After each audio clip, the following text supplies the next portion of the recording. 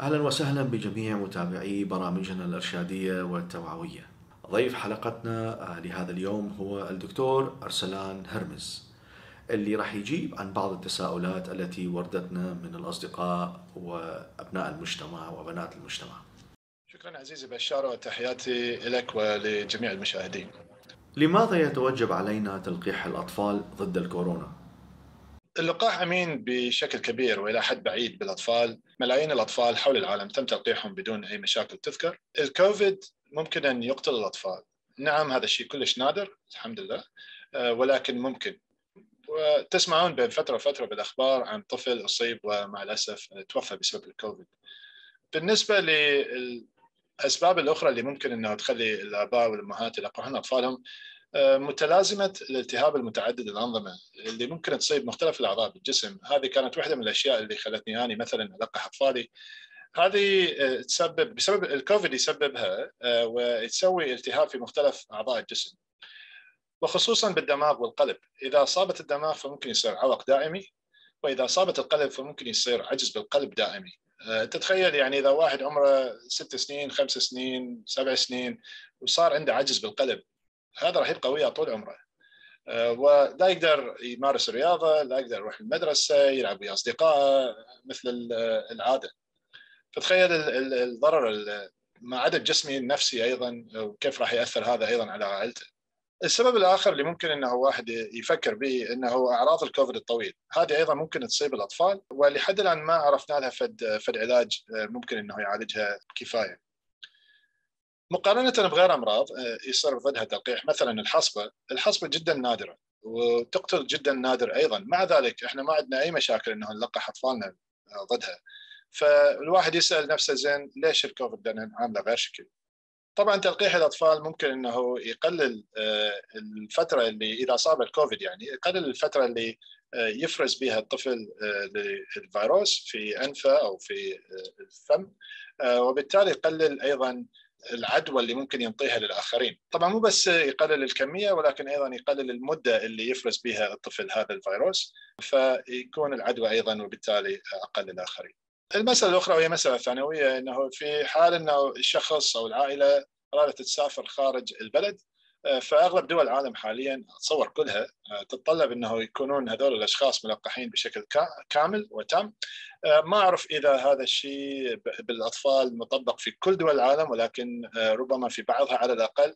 وبالتالي ممكن هذا يسبب فد مشكلة إذا حبيت تسافر تحضر حفلة زواج أو لا سمح الله مناسبات حزينة فتتفاجئ إنه هذا واحد من الأشياء اللي كان لازم إنه الطفل ياخذه ويسويه حتى تقدر تأخذ جواز وفيزا وتروح إلى هذا الدول. طيب دكتور من يحتاج الجرعة الرابعة من تطعيم ولقاح الكورونا؟ بالنسبة للجرعة الرابعة السلطات هنا في أستراليا حصرتها في مجموعة محددة آه، من الناس اللي هم معرضين لخطورة الكوفيد الشديد اللي عندهم عوامل خطورة يعني. آه، هذول هم الناس اللي راح ياخذون اللقاح ويا لقاح الانفلونزا آه، في تقريبا فصل الشتاء قبل بدايته أو في بدايته. وكانوا يعني كان ملقحين سابقا ماخذين أما ثلاثة أو أربع جرعات سابقا قبل قبل هذه المرحلة. سو so, هذول الناس هم الناس اللي عمرهم 65 سنة فما فوق اللي نزلاء دور رعاية المسنين ودور رعاية ذوي الاحتياجات الخاصة، مرضى انخفاض المناعة الشديد بأعمار 16 سنة فما فوق وسكان أستراليا الأصليين بأعمار 50 سنة فما فوق.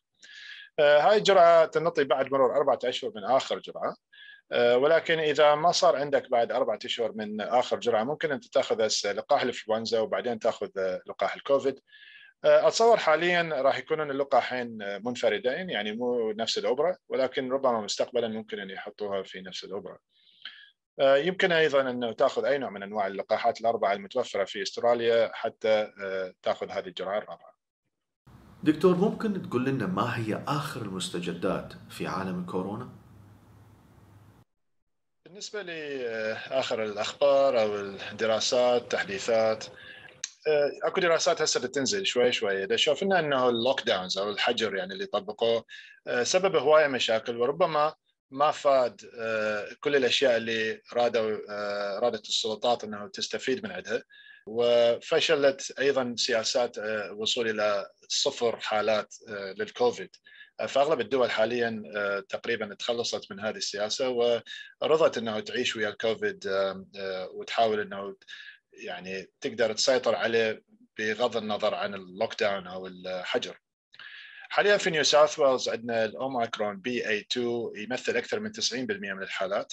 طبعا صح هو أخف من الدلتا ولكن مو خفيف لأن يوميا عندنا آه، مع الأسف هواية ضحايا يموتون وتشوفوها هاي بالأخبار يوميا ما بين 10 إلى 20 وربما أحيانا أكثر. باليوم يموتون من الكوفيد. أكو حاليا أيضا بدأت تنتشر سلاله الدلتا كرون واللي هي التزاوج ما بين الدلتا والأوميكرون ما مبين لحد الان إيش قد آه، اسوء أو أسهل أو خطورتها هذه السلالة راح نعرفها خلال الأيام والأسابيع الجاية. مؤخرا اكتشفت الدراسات أنه الأوميكرون ما يستجيب خصوصا ال BA 2 ما يستجيب للعلاج اللي كان عندنا إياه نستعمله بالمستشفيات ينطي عن طريق الوريد اسمه سوتروفيماب ما يشتغل نهائيا بينما الدراسات الأخرى على الحبابي خصوصا دواء مولنوبيرافير وباكسلوفيد هم همين شوفت إنه أكو فد وقاية ممكن ينطيها هذا العلاج للناس اللي اصابوا بالكوفيد ويقلل من احتمال دخولهم للمستشفى أو بعيد عن الكل الوفاة. ولكن هذول الأشخاص لازم يكونون يعني مؤهلين لاستقبال أو لاستعمال هذه الأدوية، مو أي واحد يقدر يستعملها. حاليا نتبع مجموعة من القواعد لوصف هذا النوع من الدواء المولنوبيرافير أو باكسلوفيد للناس. وطبعا ما يحتاج المريض يجي للطوارئ على مود هذه الوصفة. عنده خمسة أيام من تاريخ الإصابة بالكوفيد يقدر يشوف بها طبيب العائلة طبيب العائله راح يتصل بالصيدلاني مال المستشفى وهذا راح يجهزكم باما الوصفه أو الدواء أو اثنيناتهم بدون ما تحتاجون يعني تجون لقسم الطوارئ وتقضون بخمس ساعات ست ساعات بس مجرد تنتظرون هذا الدواء. فمن ذول الناس هم الناس اللي صار عندهم أقل من خمسة أيام مصابين بالكوفيد وإصابتهم خفيفة يعني ما محتاجين لحد الآن يدخلون مستشفى أو أكسجين ولحد الآن ما عندهم فد أعراض قوية ممكن إنه تسبب إنه يحتاجون إلى دخول الإنعاش مثلا. أيضا هذول الناس لازم يكون عندهم مناعة أقل، هذول الأشخاص اللي عندهم مناعة أقل ممكن هم يكونوا الأشخاص اللي ما ملقحين نهائيا أو ملقحين ولكن مو بالكامل، يعني مأخذين مثلا جرعة واحدة بس. أيضا الناس اللي ما مأخذين البوستر يعني الجرعة الثالثة والناس اللي طبعا عندهم أمراض مرتبطه للمناعة آه، بشكل كبير بأعمار 18 سنة فما فوق. هذه الأدوية ما ممكن تنطي بالمناسبة للحوامل فننصح كل أخواتنا العزيزات إنه قبل ما تصيرين حامل أخذي اللقاحات قبل آه، ما تصيرين حامل حتى لا أو أثناء ما أنت حامل حتى إذا صار لا سمح الله الكوفيد ما يأثر بشكل كبير لأن بس صار الكوفيد وأنت حامل ما نقدر نستعمل أي واحد من هذه الأدوية. هذول الأشخاص آه، اللي ذكرتهم قبل شوية لازم أيضا يكون عندهم بعض العوامل الأخرى عوامل الخطورة للكوفيد. معروفة هي حاليا آه، مثلا آه، الحمل واحد من عندهم ولكن هذا ما نقدر حاليا الأدوية اللي عندنا إياها باستراليا وفي العالم اللي شوية بها دراسات ما نقدر نستعملها على الحوامل. ولكن هو يعتبر واحد من عوامل الخطورة للكوفيد. فلذلك أنصح إنه تاخذون اللقاحات ولا تعتمدون على إنه هاي الأدوية في اليوم من الأيام ممكن إنه تصير مرخصة أيضا للحوامل. الأشخاص الآخرين هم بأعمار 60 سنة فما فوق إذا مثلا أبوريجينال من السكان الأصليين 50 سنة فما فوق اللي عندهم آه، سكر اللي عندهم آه، ضغط اللي عندهم أمراض الكلى اللي عندهم آه، السمنة المفرطة اللي عندهم أمراض بالرئة مثلا اللي عندهم أمراض بالكبد أو أو السرطان. هذول هذول الناس اللي هم راح يحتاجون إذا انصابوا بالكوفيد يحتاجون مثل هاي الأدوية. فرجاء إذا صار عندكم الكوفيد تتصلون بطبيب العائلة حتى تشوفون هل أنتم تقدرون تأخذون هذا العلاج. وإن شاء الله الصحة والعافية للكل. آه، وأتمنى في يوم من الأيام ترفع هاي الغمة علينا كلنا حتى الواحد يرجع تمشي أمور حياته بشكل طبيعي بدون ما تأثر على أي شيء آخر آه، في عائلته وفي بيته وفي شغله وفي كل شيء والصحة والعافية مرة ثانية أكيد. دكتور أرسلان هرمز شكرا جزيلا على حضورك ومشاركتك معنا. تحياتي.